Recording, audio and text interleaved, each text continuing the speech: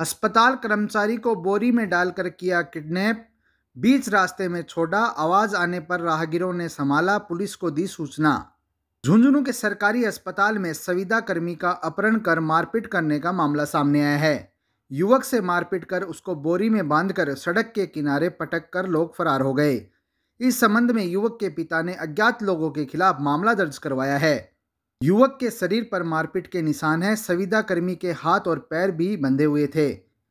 अभी अपहरणकर्ताओं का पता नहीं लग पाया है, लेकिन पुलिस ने संविदा कर्मी के बयानों के आधार पर आरोपियों की तलाश शुरू कर दी है। थानाधिकारी देवी सिंह ने बताया कि गुड्डा गोडजी निवासी आनंद सिंह उम्र 30 साल अस्पताल में संविदा कर्मी हैं, जो कंप्यूटर ऑपरेटर के पद पर कार्यरत है। रात साढ़े नौ बजे आनंद सिंह अस्पताल से अपने घर लौट रहा था। इसी दौरान घर से कुछ दूरी पहले कैंपर में आए तीन युवकों ने आनंद सिंह का अपहरण कर लिया। अपहरण कर उसको कहाँ लेकर गए थे? इसका उसको कोई अंदाज़ा भी नहीं है। उसके साथ जमकर मारपीट की गई है। आनंद सिंह ने बताया कि उसे नींद की गोलियाँ दी गई। उसका मोबाइल भी घर से 100 मीटर दूर स्थित एक दुकान के बाहर लावारिस हालत में मिला था।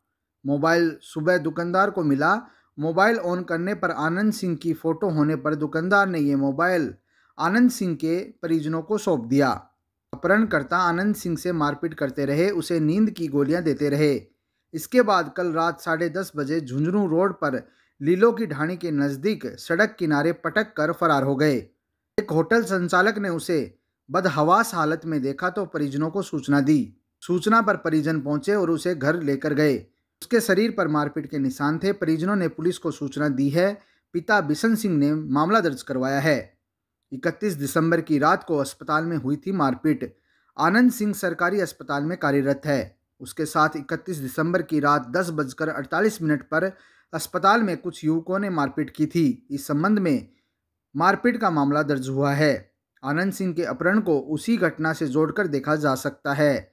इस संबंध में उसके पिता ने अज्ञात लोगों के खिलाफ अपहरण कर मारपीट का मामला दर्ज करवाया है। पुलिस अब जाँच कर रही है।